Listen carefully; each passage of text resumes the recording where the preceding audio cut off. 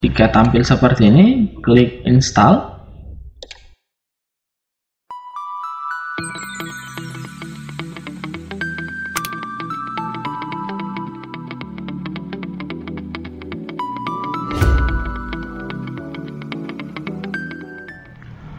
Halo guys, kembali lagi di channel gue Elektrik. Pada kesempatan kali ini, aku akan berbagi tutorial cara menginstal dan menggunakan aplikasi WinRAR di komputer PC atau laptop kita. Namun, sebelum kita melanjutkan tutorial ini, pastikan Anda sudah subscribe channel ini dan mengaktifkan lonceng notifikasinya, agar tidak ketinggalan tutorial-tutorial bermanfaat lainnya. Aplikasi WinRAR adalah salah satu aplikasi yang wajib kita install di komputer PC atau laptop kita. Karena aplikasi inilah nanti yang akan kita gunakan untuk membuka file berupa RAR, ISO, JAR, dan tipe file lainnya. Dan aplikasi ini juga lah yang akan kita gunakan untuk mengkompres serta mengekstrak file-file tersebut. Jadi untuk uh, menginstal aplikasi WinRAR di komputer PC atau laptop kita silahkan ikuti langkah-langkah berikut ini Pertama, silakan buka aplikasi browser Anda. Bisa menggunakan Google Chrome, Microsoft Edge, Mozilla Firefox, Opera Mini, dan aplikasi browser lainnya. Pada tutorial kali ini, saya akan menggunakan Google Chrome. Jadi, silakan dibuka. Kemudian selanjutnya, setelah aplikasi browsernya terbuka, pada address bar di bagian ini, silakan ketikkan yaitu win kemudian garis penghubung rar.com saya ulangi pada address bar silakan ketikkan win garis penghubung rar.com jadi win garis penghubung rar.com adalah situs resmi dari WinRAR untuk mengunjungi situs ini silakan tekan enter pada keyboard Anda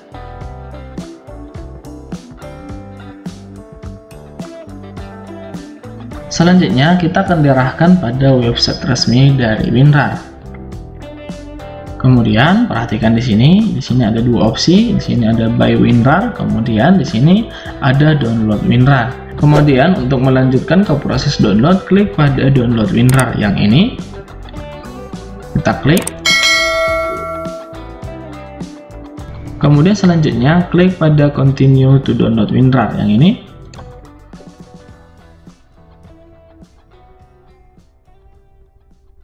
Nah, kemudian selanjutnya kita akan diarahkan ke folder di mana kita akan menyimpan file WinRAR-nya. Nah, di sini saya akan menyimpan di folder download. Kemudian selanjutnya untuk melanjutkan ke proses download, klik save yang ini. Perhatikan di pojok sebelah kiri bawah yang ini, ini adalah file WinRAR-nya. Nah, selanjutnya untuk melanjutkan ke proses install, kita bisa langsung double klik file yang berhasil di download ini. Atau kita juga bisa klik tanda panah kecil ini kemudian klik pada show in folder yang ini. Nah ini adalah file dari aplikasi WinRAR nya untuk melanjutkan ke proses install silakan klik dua kali pada file ini. Kemudian jika ada konfirmasi klik yes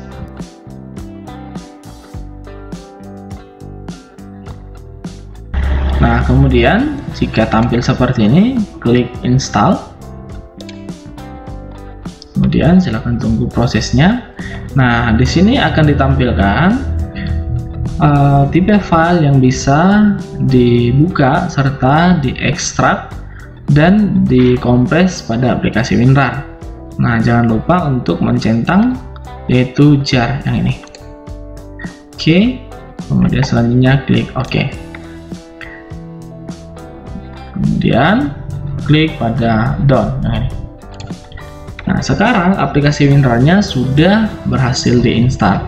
Perhatikan di sini ketika sudah berhasil diinstal kita akan diarahkan ke folder di mana aplikasi WinRAR-nya diinstal. Nah selanjutnya untuk menggunakan aplikasi WinRAR ini caranya sangat mudah. Ini kita close terlebih dahulu. Untuk menggunakan aplikasi WinRAR caranya sangat mudah Pertama, kita akan mencoba mengubah atau mengkompres folder uh, yaitu contoh file ini menjadi WinRAR. Caranya, pertama klik pada folder yang menjadi targetnya, kemudian klik kanan, kemudian klik pada add to contoh file rar yang ini.